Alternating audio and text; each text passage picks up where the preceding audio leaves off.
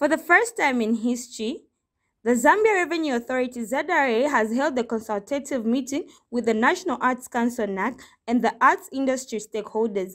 ZRA Commissioner General Kingsley Chanda assured the artists that the commission will engage the Ministry of Finance to consider a tax relief for the arts industry in the 2022 national budget, which is undergoing formulation. So we thought as Zambia Revenue Authority we need to support them and also engage them on tax obligations. We have met this morning with the uh, Zambia National Arts Council um, and their members in order to exchange ideas on how best we can help them through tax incentives um, and uh, understand their challenges in their compliance. So the way we have structured this workshop is that uh, we'll, we'll, make presentations uh, to the industry on their tax obligations as the tax laws stand now.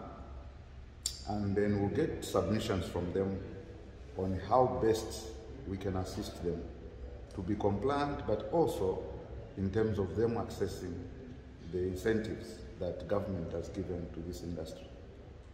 You may recall uh, during the president's speech to Parliament, he emphasized the need to create opportunities and jobs for the youth. And we believe strongly so that the art industry is one way through which government can create those opportunities.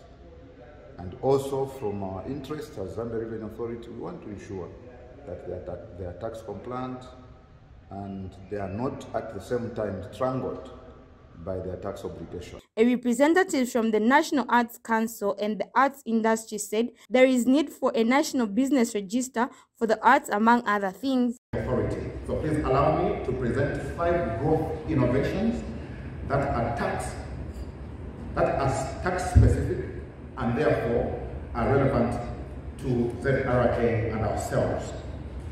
Number one, the sector needs a national business register for the arts. National business register for the arts, we can become specific so that, uh, and, I, and, I, believe it is in the spirit of this uh, interaction we're having today, that we, we, can begin to specify.